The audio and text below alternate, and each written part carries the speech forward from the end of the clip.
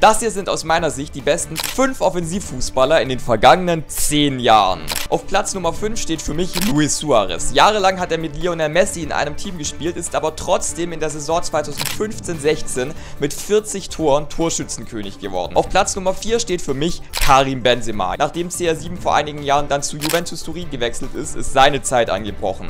Jetzt ist er Champions League-Sieger und Ballon d'Or-Sieger und ist auf jeden Fall verdient mit hier in dieser Liste. Auf Platz Nummer 3 steht für mich Robert Lewandowski. Ich nehme ihm zwar seinen Wechsel zu Barcelona immer noch ziemlich übel, weil er sportlich keinen Sinn gemacht hat, aber trotzdem ist er einer der besten Stürmer der vergangenen 10 Jahre. Champions League-Sieger mit Bayern, zweifacher Weltfußballer, 41 Tore in der Bundesliga, der schnellste Fünferpack der Geschichte, einer der besten seines Handwerks und er muss hier auftauchen. Über Platz 1 und 2 habe ich mit Abstand am wenigsten nachdenken müssen. Für mich steht Cristiano Ronaldo auf Platz 2, er hat Tore geschossen für diverse Top-Clubs in Europa, er ist zigmal Torschützenkönig, König, Champions League-Sieger, Weltfußballer, Ballon d'Or-Sieger. Ich könnte noch eine Viertelstunde so weitermachen. Er muss hier auf jeden Fall auftauchen. Auf Platz Nummer 1 steht für mich nicht nur der beste Spieler der vergangenen 10 Jahre, sondern der beste Spieler, der jemals den Ball berührt hat. Lionel Messi, eine absolute Legende bei Barcelona, siebenfacher Weltfußballer, Champions League-Sieger und bei Paris läuft es inzwischen wirklich, wirklich gut. Wen habe ich falsch eingeordnet oder wen hättet ihr anders eingeordnet? Schreibt es mir wie immer sehr, sehr gerne unten in die Kommentare rein.